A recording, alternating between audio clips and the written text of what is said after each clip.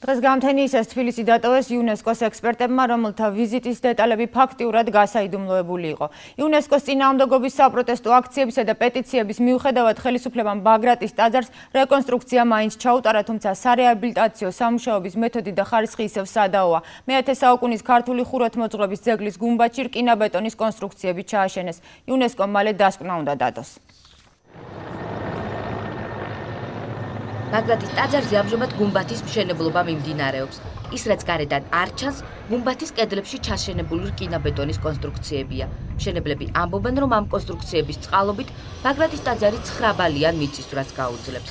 იუნესკოს ზედამხედველობის ქვეშ არის და რა თქმა უნდა, მის ნუსხაში ვართ და ყველაფერი შეთანხმებულად კეთდება იუნესკოსთან.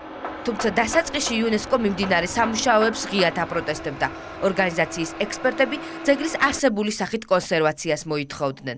იუნესკო ითხოვდა, რომ ეს უნდა იყოს ასე, როგორც არის ძეგლი, რომელიც იყოს საუკუნეების წინ. იუნესკოს აცრს იზიარებდა ექსპერტად მოწვეული არქიტექტორი.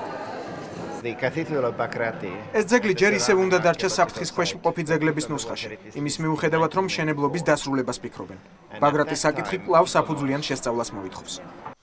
2010 წელს იუნესკომ ბაგრატის ტაძარი საფრთხის ქვეშ მყოფი ძეგლების ნუსხაში შეიყვანა. ამის მიუხედავად სარესტავრაციო სამუშაოები იუნესკოს მიერ დაწუნებული პროექტით გაგრძელდა. ტაძარი ვიიღებს თავდაპირველ სახეს. და ამას საზოგადოება ნახავს სექტემბერში. საერთაშორისო ექსპერტების მონაწილეობით მიმდინარეობს ალბათ იცით პროექტის დამუშავება, რომელიც სრულ შესაბამისობაში იქნება მსოფლიო მემკვიდრეობის ცენტრის მოთხოვნებთან. ბაგრატის ტაძარზე სამუშაოების სწრაფი ტემპით მიმდინარეობს. იუნესკოს წარმომადგენლებმა თბილისი დატოვეს. ახალი დასკვნა ბაგრატზე მათ რამდენიმე თვეში უნდა გამოაქვეყნონ.